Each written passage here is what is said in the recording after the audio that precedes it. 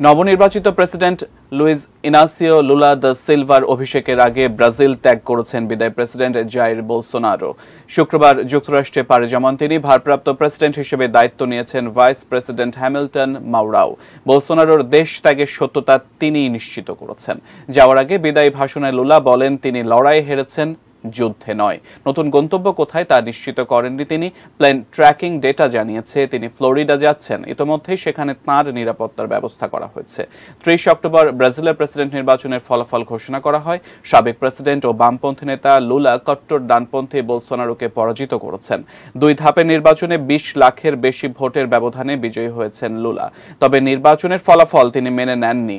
ব্যাপক কারচুপির কোনো প্রমাণও দেখাতে পারেননি বোলসোনারো। নির্বাচনে হারের পর থেকে থেকে বোলসোনারো অনেকটা আড়ালেই থেকেছেন এবং খুব কমই কথা বলেছেন।